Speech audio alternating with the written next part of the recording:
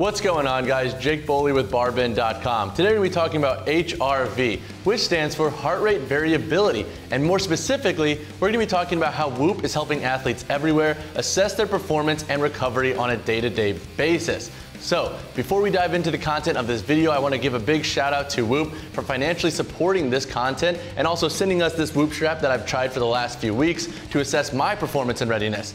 In this video, we're going to cover a lot of topics. I have an interview with Elite Performance Manager Mike Lombardi over at Whoop, and he helped me truly understand how the algorithm that goes into this strap is helping athletes everywhere understand their readiness and recovery on a day to day basis and how they should adjust their training accordingly. The science that goes into it is pretty freaking cool. But Before we dive into all the science and all the goodness of the content, it's a good idea to first understand what the heck HRV is. Heart rate variability, in short, is exactly what the name suggests. It's a slight variability in between our heart rate or heartbeats for that matter. No two beats are timed exactly the same, and this variability has become to suggest overall well-being, fitness, and health. So how exactly does HRV tie into health? Well, a lot of it comes down to the nervous system. The autonomic nervous system is broken into two branches. We have the sympathetic nervous system and the parasympathetic nervous system. These two nervous systems are always at play with one another. I like to think of HRV as like dueling dragons, right? So these are always interacting with one another, and HRV is a predictor for understanding the balance and imbalance we may have in between these two nervous systems. The sympathetic nervous system is responsible for all of our fight or flight responses. So anything that's a stressor, whether it be physical, physiological, or psychological, the sympathetic nervous system will generally be at play. The parasympathetic nervous system is responsible for like our rest and digest kind of responses. So when we're laying down in bed, recovering and resting, the parasympathetic nervous system will be a little bit more active. So HRV is used to suggest balances and imbalances between these two nervous systems. Generally speaking, a higher HRV number will mean that these nervous systems are highly responsive. So if we have a very big sympathetic nervous system response, the parasympathetic nervous system will also balance it out and it'll result in a highly responsive nervous system, which is a good thing. If there is a lower HRV number, then that could mean that the imbalance is going in one direction. So for a quick example, if you're always stressed and always taking stimulants and just never really giving yourself a rest, then your sympathetic nervous system will be very active, but your parasympathetic nervous system will not be equaling all of that reactive state that you're always in, thus suggesting that you might have a lower HRV number, which could correlate to overall well-being and health. So a high HRV number is good and a low HRV number is bad, right? Pump the brakes, it's not that simple. And this is where things get really interesting. Similar to training and just overall recovery on a day to day basis, HRV requires context into one's individual state and life. So things like genetics, environment, and much more can play into one's HRV number. I'm gonna kick it to Michael Lombardi to help explain a little bit more. If, if you were to just Google, hey, what's good HRV, it'd be broken down by age, gender, things like that. We look at it as it's largely genetic um, it's a lot easier to be able to control uh, like a resting heart rate than it is your heart rate variability. So everyone can improve their fitness, and then I think where Whoop is is unique and can really help people is understanding their HRV. Let's say it is lower, doesn't mean that they're not fit. We're just trying to see how ready you are, right? That's your body's daily readiness. So if you think about it as not sure HRV is a good indicator of overall health, we also want to look at your daily readiness and are you improving? Are you increasing your own HRV relative to your rolling baseline? Um, so that's what people should be thinking about is like everything, okay, this is where I am now. How can I, one, measure it? And then what are the things I can do to improve it? Whether that's augmenting training, is it as simple as just getting better sleep, nutrition, hydration? There's a bunch of different things. And for each person, they have to kind of play with all the pieces to increase their HRV. So if they're increasing their HRV, their daily readiness is going to be better the resting heart rate's most likely also going to go down. So what we tend to see is with an increase in HRV, we're also going to see a decrease in resting heart rate. That means that the body's adapting well to external stimulus, and either you're just training within the right zones, or again, maybe you're just a superhuman and you live in the green. The goal is improve your own HRV relative to yourself. A high HRV plus a low resting heart rate means that your work, your body is incredibly efficient. So if you kind of look at the two together, I, I, I think you kind of have to. It, it's really just work econ like your work your work economy. How efficient are you, uh, and how can you improve the two things? So HRV is daily readiness. It's literally all the inputs, right? All the inputs. How do they affect you, and how are you managing them? And then resting heart rate's really just are you getting fitter? Are you getting fitter? So your HRV score is an extremely complicated number. It's made up of things like your genes, environment, and so much more. But what are some ways you can improve your HRV right now on an acute and daily basis? We're gonna cover five ways right now.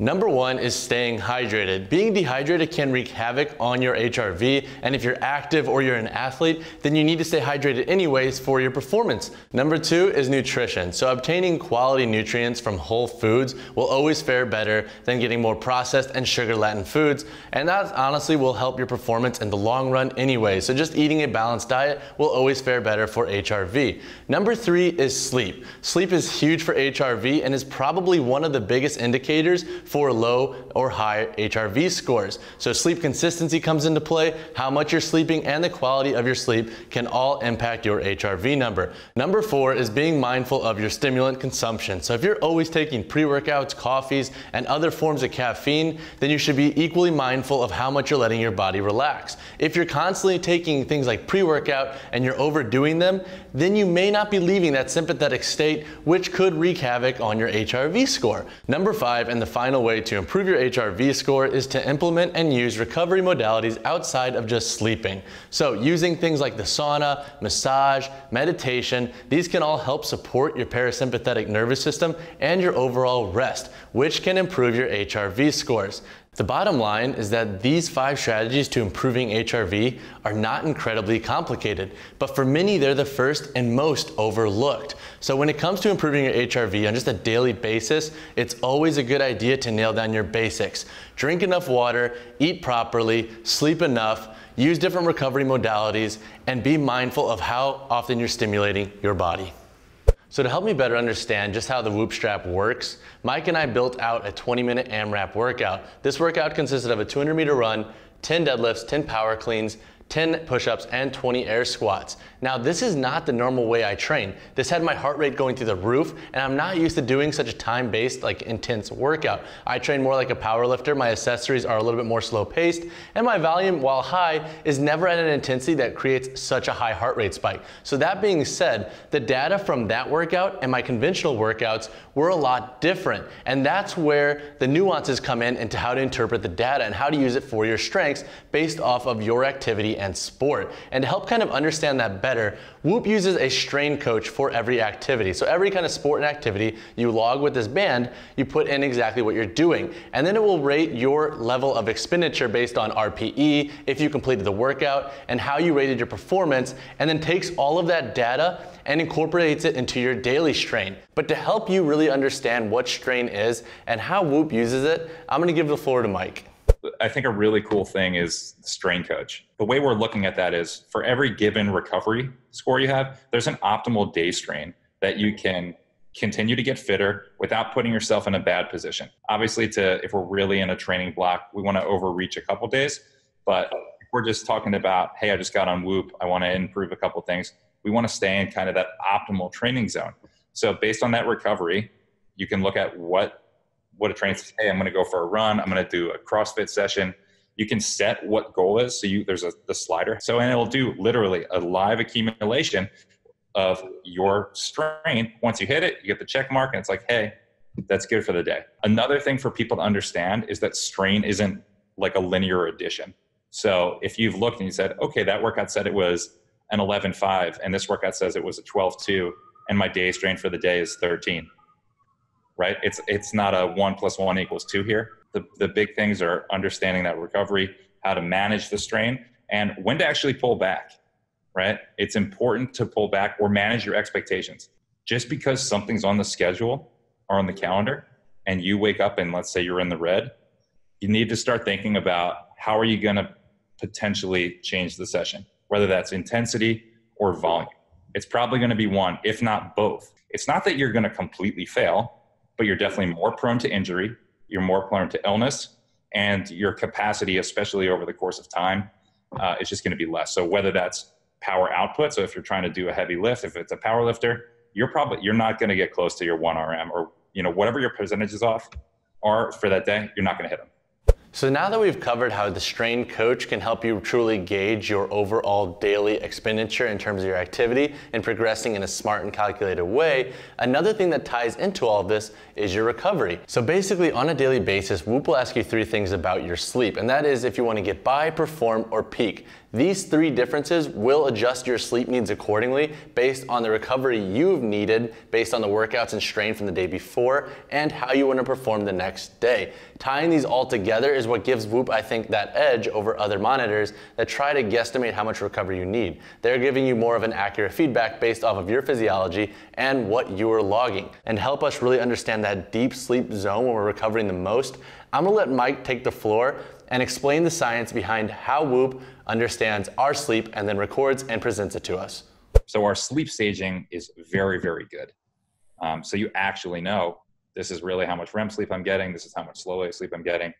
Um, and that combination of both how much sleep we tell you you need. So we, we sleep performance, right? How much sleep do you need versus how much sleep you get? That's part of it.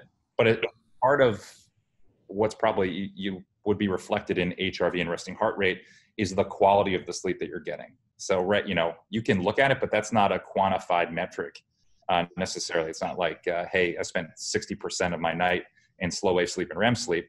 If you did that, your numbers would probably be outstanding. Uh, what we try and tell people is if you can get those two, REM plus slow wave sleep, to be about 45 or 50% of your night's sleep, that's really solid in conjunction with, a, you know, at least 70% sleep performance. Uh, that's really good. So the sleep performance is is a really that's probably the lowest the base level of hey let's get you some more sleep.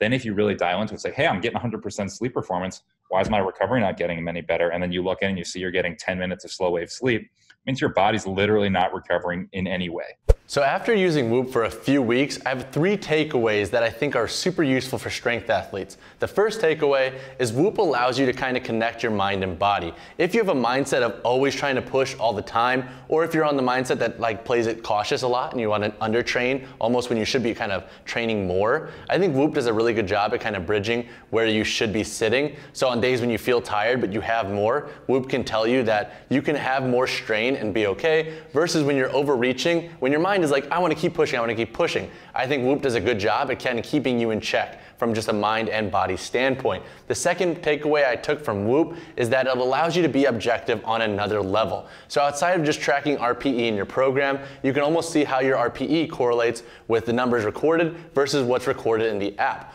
Almost every number that was recorded in the app in terms of my RPE versus the RPE I wrote down in my program was nearly similar. And that's really cool to see because that means that I'm being objective with my training and the Whoop device is kind of clarifying and confirming that I'm being objective enough to keep progressing in a smart way. My third takeaway is how useful some of these recovery numbers can be. So obviously every athlete knows they need to sleep more, but being able to break that down into three different sections of get by, perform, and peak, it helped me kind of understand even more how much sleep I need and how much I can get by with. So basically, I don't need to sleep nine hours a night every night if I just want to have a decent solid workout and recover to a pretty good extent. And that's what I like Whoop for. It helps me remain objective with my sleep, but also helps give me suggestions and ideas of when I need to sleep more based off of when I want to push more. So it helps me be a little bit more firm on myself in terms of my own sleep hygiene and just my overall recovery practices. So all in all, I think those are my three biggest takeaways. It's helped me perform better in the gym, and I really like the data that it's given me back in terms of tracking my progress. There's no denying that HRV plays an important role when it comes to performance readiness and recovery.